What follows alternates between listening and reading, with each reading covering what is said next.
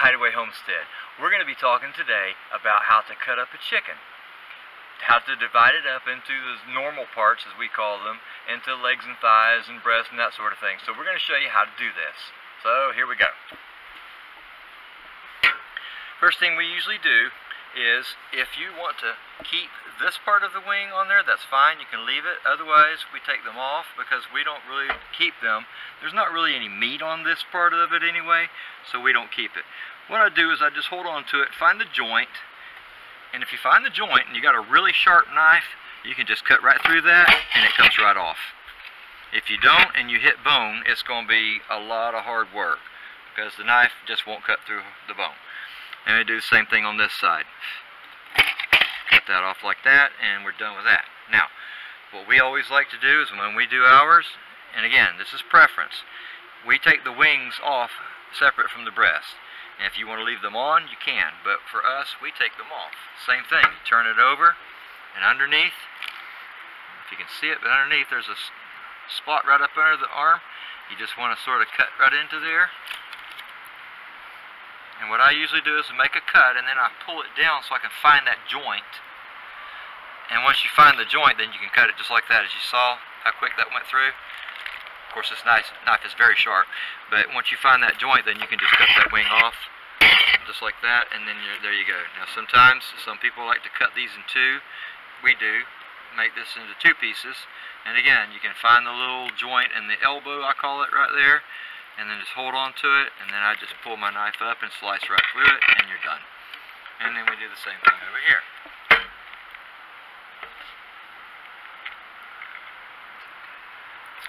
With that, pull down, you can find the joint, you can see it right there, that white part right there, that's the cartilage or whatever, the joint of the wing, and you just cut right through that. Just keep moving it and cutting it until you get that to go through, just like that.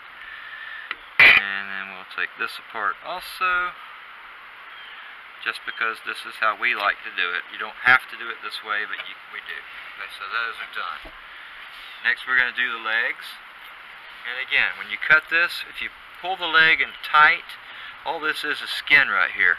So if you put your knife up close to the breast of the bird, like that, that's how I do it, like this, and then just slice, it'll come right out. And you can see. And then you just pull down on the leg, and what we usually do is I just grab it and pull it until you hear it pop, and it'll actually pop out of the joint of the leg. Get that where you can see it. I got too much meat in the way. There it is. Okay. So there's the joint right there. So then all you have to do is just cut behind that joint so that you're not cutting through the bone. And then just take that part off and there you go. And again, you can leave the thigh and the leg connected or you can take them apart. We usually take ours apart most of the time. Okay, now when you cut the leg away from the thigh, if you take your finger and feel in here, you can feel the joint of the knee. It's like right there. If you feel it, that's the soft part. So if you can put your knife in that soft spot, let me get that skin out of the way, you can see it better. The soft spot is right there. If you cut into that part, it's easy. If you miss, then you're hitting bone. Just like that. So that's it. And now, now all you have to do is just slice through it and you're done. Now you have a thigh and a leg. Or a drumstick, we call it. okay, I turn it around and do the same thing over here. Put my knife in that spot right there, hold on to the leg, and just make a slice. And it's opened up where you can see what you're doing.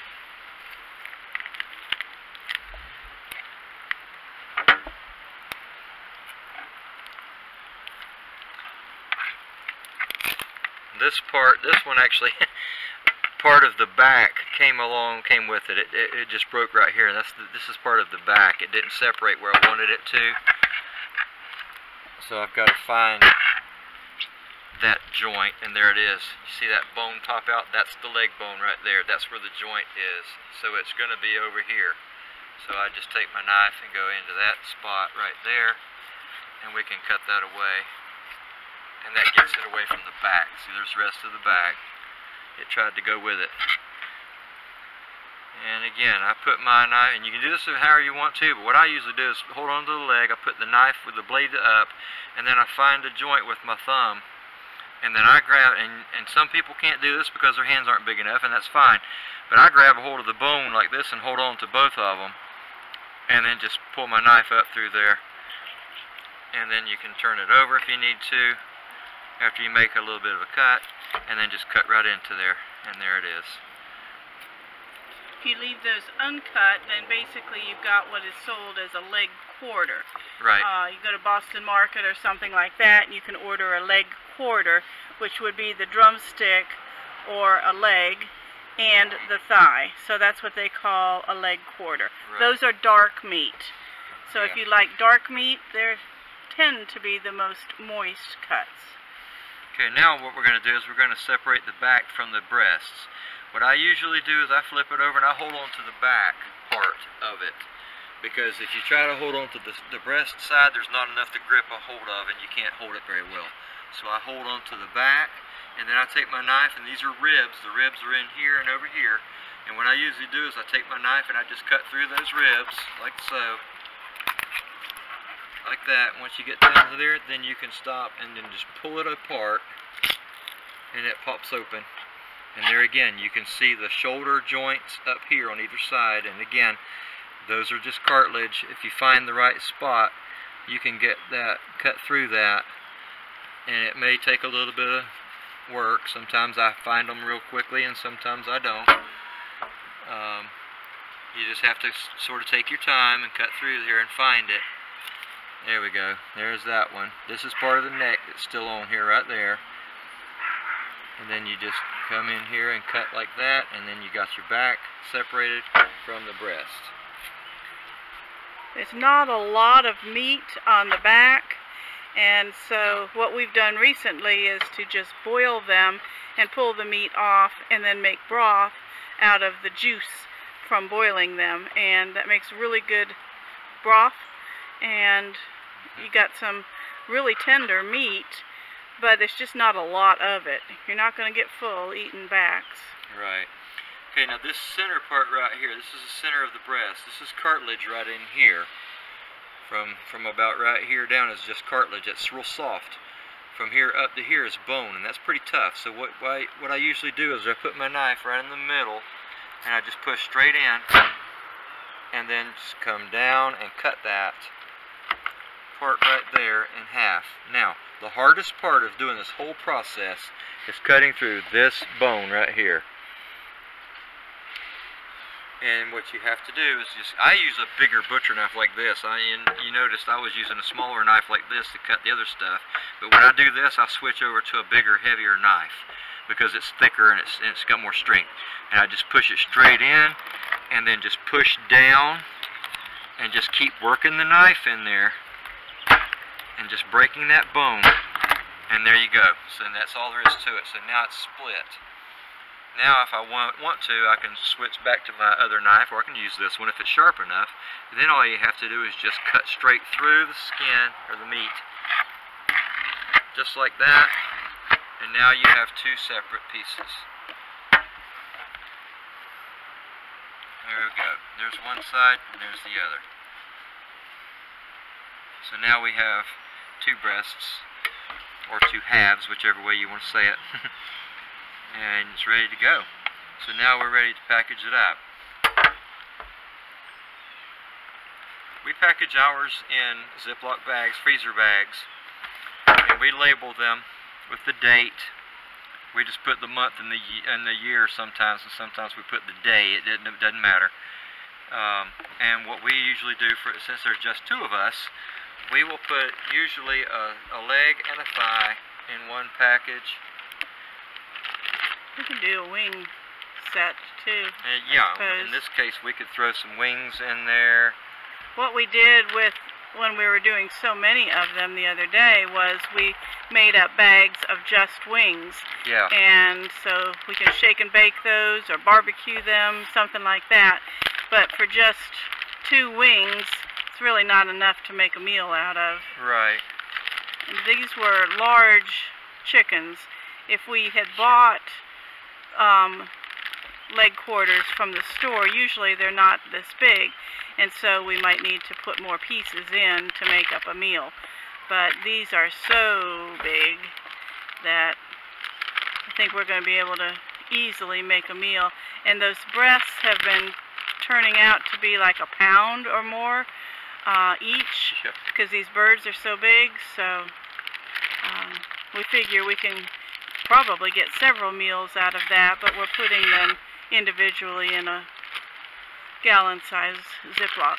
Yeah. It really just depends on how many people you're feeding. You know, if it's just for two people or something, then you know this this is for two people. This is just us. Um, so this works out good for us. But if you had, you know, if you've got children in your family or something like that that you're feeding more people uh, than just two, then you would want to put more pieces in your packages, obviously. Um, but for the most part, you know, it's just uh, these one one or two pieces in there works out great for us. So now pretty much all we need to do is dispose of these wings, tips that I cut off here, and figure out what we're going to do with the back off of the bird.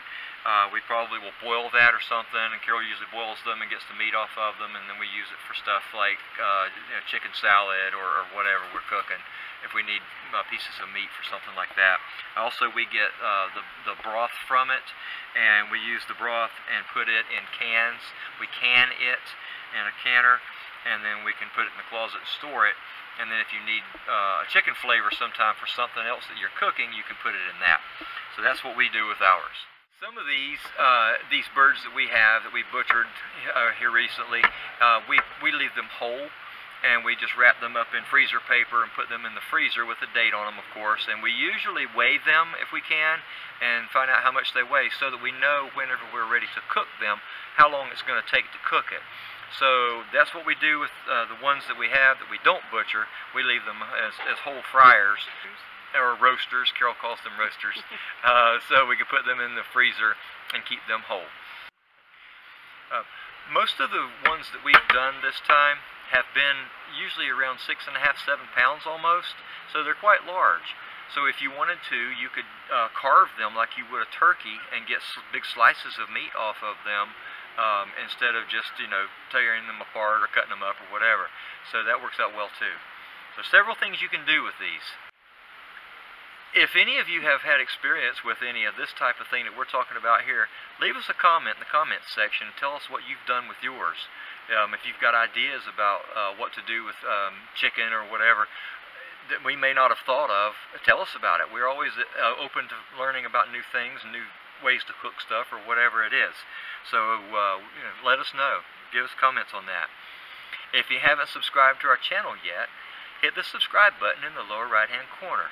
It would really help our channel a lot if you would subscribe and also get your family and friends to subscribe.